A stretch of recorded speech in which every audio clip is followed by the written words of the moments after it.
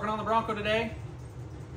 If uh, if you got an early Bronco and you actually take it off road and do anything with it, you run a run a pretty good chance of uh, doing what I did, crushing this corner in.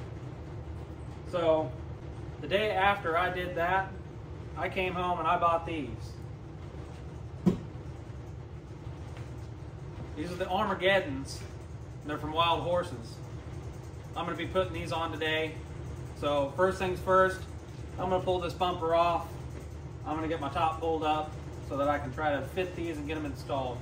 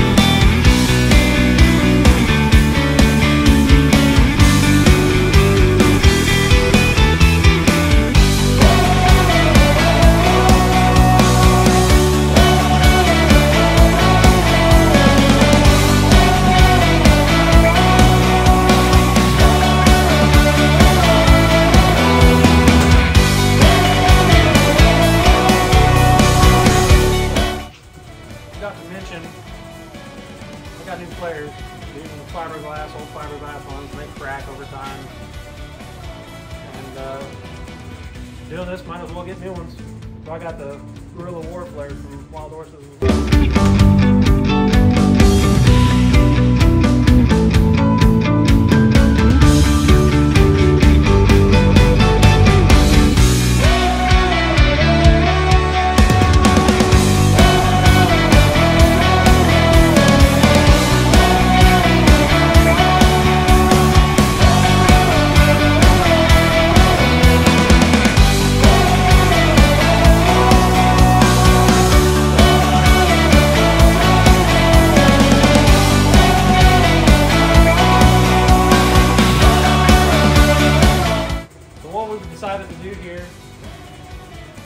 Is with the top, when it comes down into this bed pocket here, you're gonna have to cut this piece out. So we just measured off, measured off how wide that bed pocket is, and just made it match. So we're gonna cut that out of there.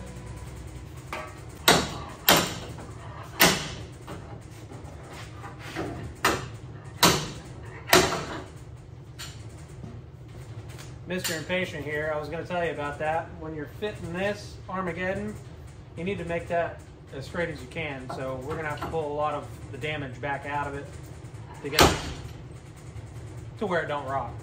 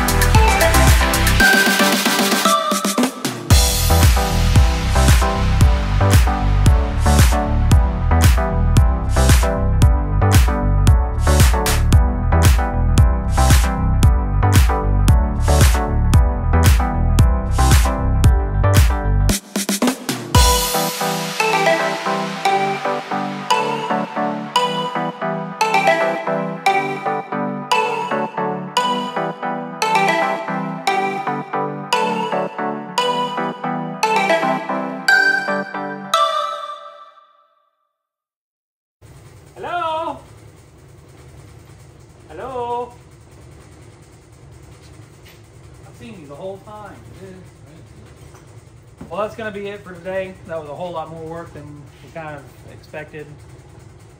Take that as don't make my mistake. Go get you a set of these before you go out. That way you ain't got to beat your entire back corner back down where it needs to be to get things to even fit close to where it should be. Next time, I'm going to stick my new flares up here, figure out where I need to mark them, get these things cut down where they need to be. Got a couple more holes I got to drill in it, and I'm going to countersink. Uh, these are just temporary hardware. I'm going to countersink some different hardware and make it all look good. And for now, I'm just going to pull it outside and work on it another time.